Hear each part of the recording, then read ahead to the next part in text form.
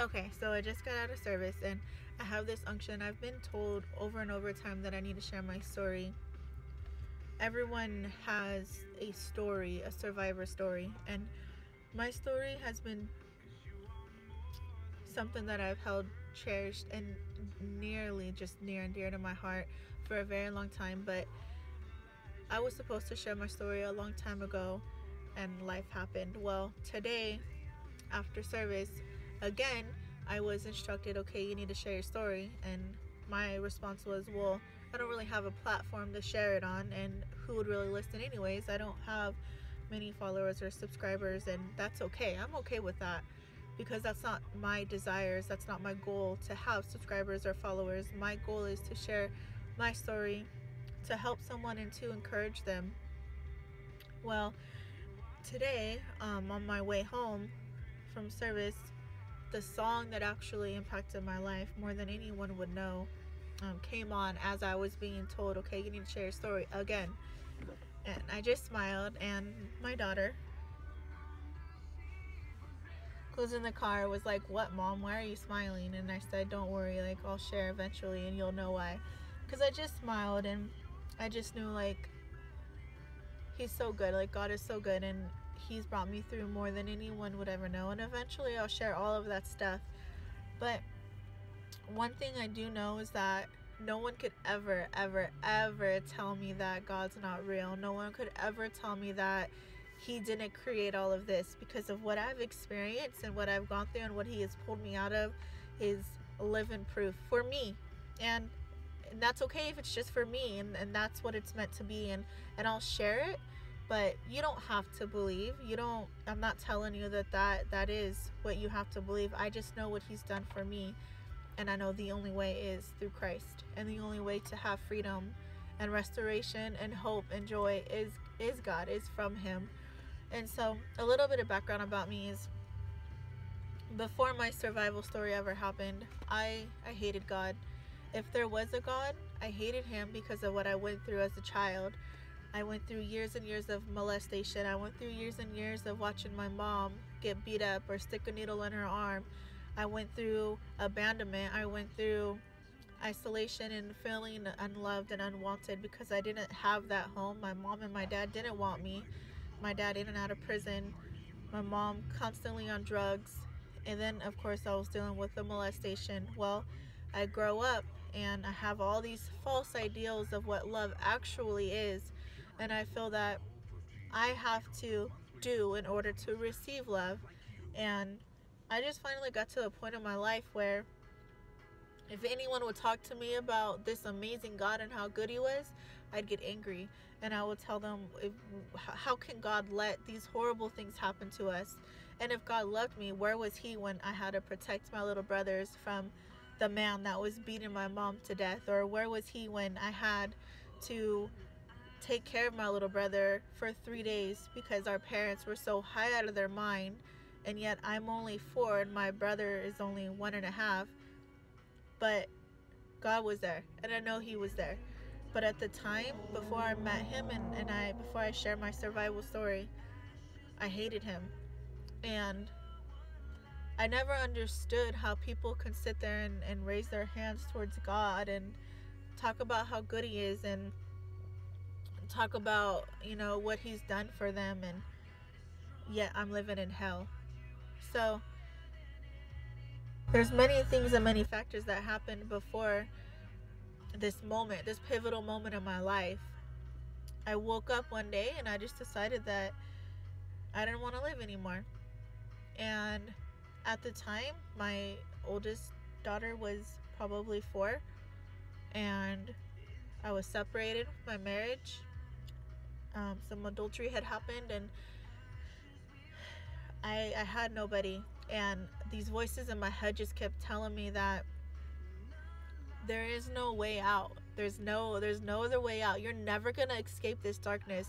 You're never gonna get freed from all these thoughts of not being enough not being wanted. No one loves you. You're not enough. Your world is dark.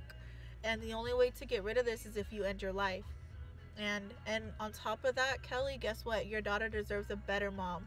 And you you're never going to be good enough for her because you're just like your mom. And I remembered all the, the flashbacks of me having to clean up my own mother's blood from her trying to commit suicide years and years and years and having to go see her in the hospital on life support and having them pump her stomach. And I just remember all these thoughts and, and it was overwhelming. It was just I had to escape. I had no escape to get away from these thoughts.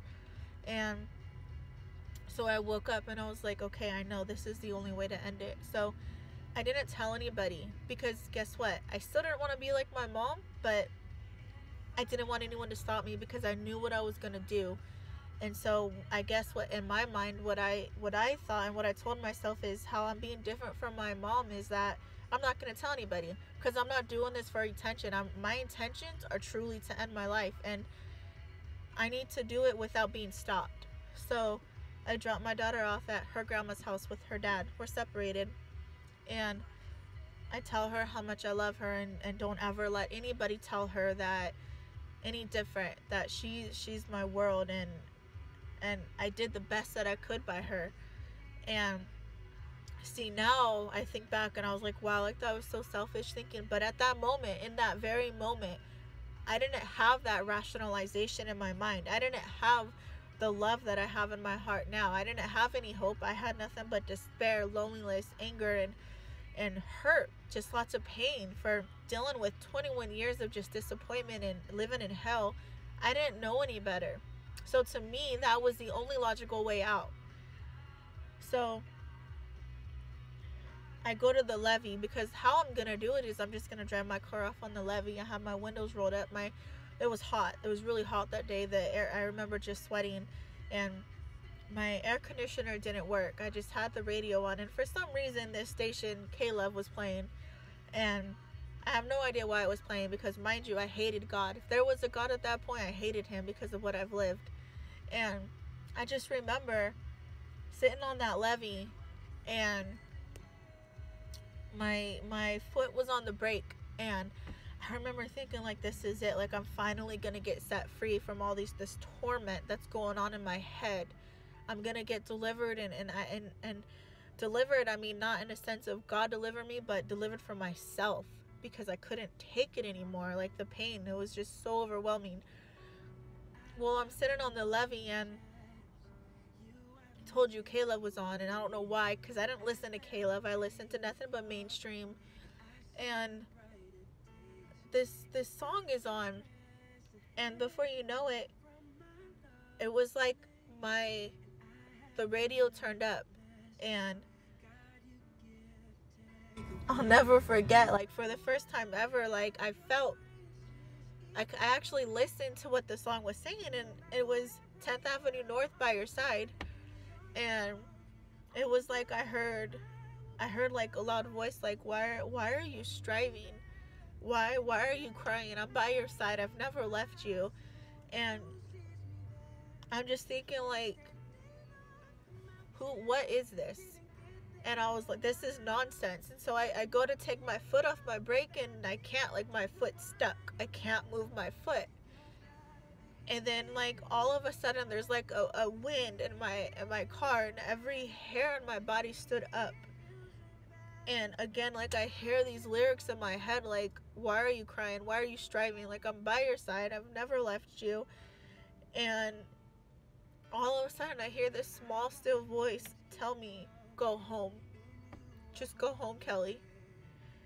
And it was so peaceful, it was so it was so calm, it was so gentle and for whatever reason once I made that decision in my mind that okay, I'm going to go home. I'm not going to do this. My foot, I could move my foot again and I took my foot off the brake and I drove off of the levee and I went home Mind you, before this day, I hadn't slept in two days. I went home. I was living in a duplex and I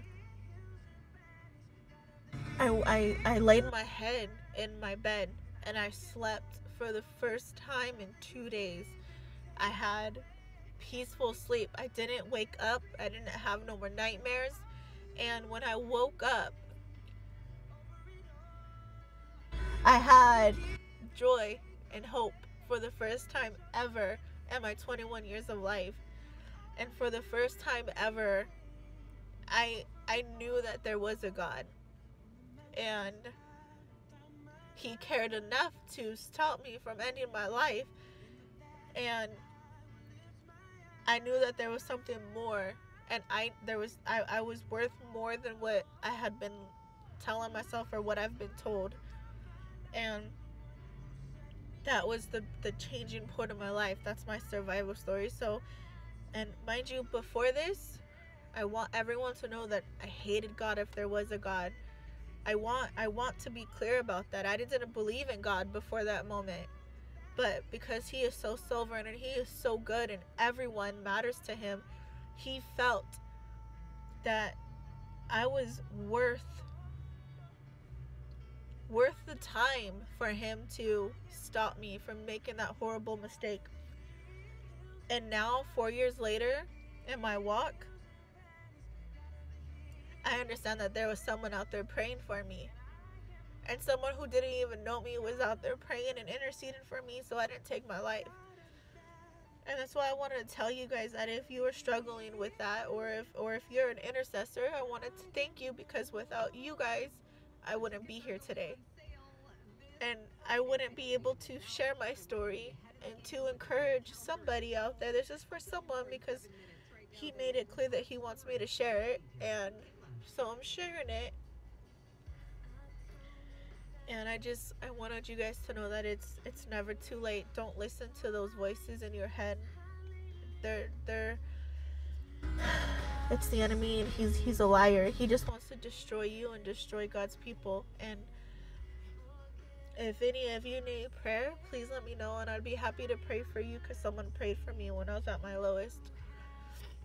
But that's my survivor story and a couple of weeks later, I found a church and I was saved, got born again, and here I am. Life isn't perfect. Let me tell you, just just because you get saved, it doesn't mean that you are free from struggles and trials anymore. That's not the case at all.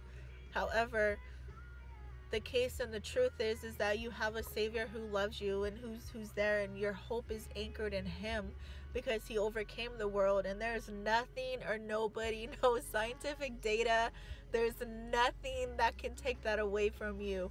Once you have that jesus moment no one could take it away. You are his forever.